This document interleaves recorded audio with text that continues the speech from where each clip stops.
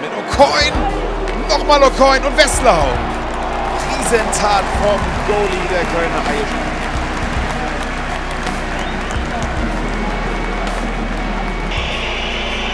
Westlau ist da mit dem schon.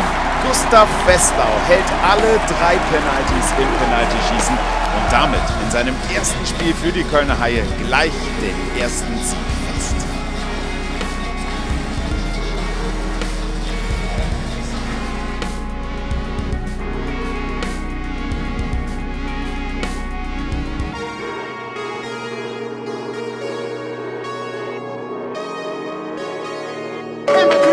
between the Phoenix wall. The deuce is loose. Gustav Westlow.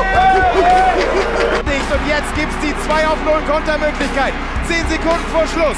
Faser, Doppelpass und Westlow!